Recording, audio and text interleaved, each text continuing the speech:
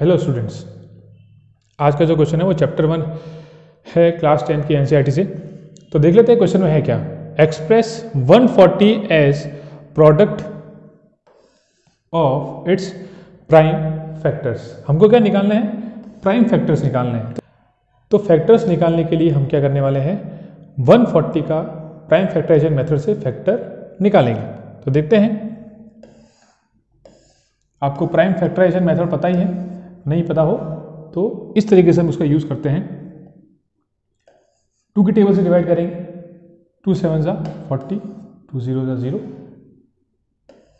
To three ज़ा six two five ज़ा ten five seven ज़ा thirty five and seven one ज़ा seven तो हमने ये फैक्टर निकाल लिए। इन फैक्टर को लिख लेते हैं। तो 140 के जो फैक्टर हमको मिले हैं two into two into five into seven two to the power two into five into seven हमको ये हमारे प्राइम फैक्टर मिल गए हैं। अब प्राइम फैक्टर अब ये प्राइम जो वर्ड यूज़ किया है तो आपको पता होना चाहिए प्राइम नंबर क्या होते हैं। प्राइम नंबर क्या होते हैं?